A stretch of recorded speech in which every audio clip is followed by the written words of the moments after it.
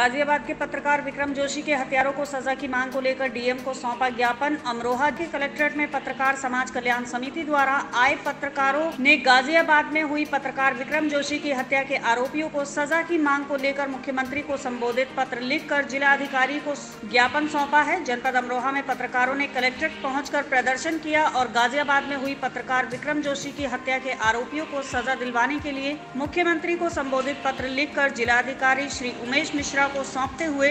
दोषियों को सजा दिलवाने की मांग की है।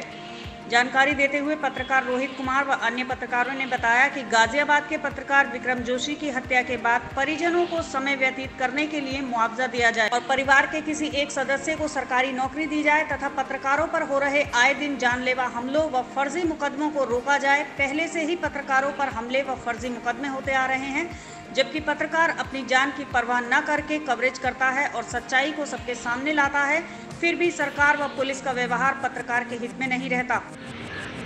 बताइए, आज वो आना हुआ है क्या मामला? देखिए, मैं पत्रकार रोहित कुमार, आज हम पत्रकार समाज कल्याण समिति द्वारा जिलाधिकारी को ज्ञापन सौंप रहे हैं, जिसमें कि गाजियाबाद के पत्रकार विक्रम जोशी की दिन दहाड़े गोली मारकर हत्या कर दी थी। उनका उपचार के दौरान मौत हो गई है। वही प्रदेशीय पत्रकारों में आज रोष है और सभी प्रदेश के जितने पत्रकार हैं, सभी जिलाधिकारियों को ज्ञापन सौंप के उनके दोषियों को कार्यवाही के लिए आज ज्ञापन सौंप रहे हैं और उनके जो परिवार जो परिवार के, उनके बीवी बच्चे हैं, उनको ये मांग दिलाई जाती है कि उनके जो है पालन पोषण के लिए पैसा या नौकरी किसी सहायता प्रदान करें और आए दिन पत्रकारों पर हो रहे हमले में भी दोषियों को आगे भी कार्रवाई होनी चाहिए उन पर।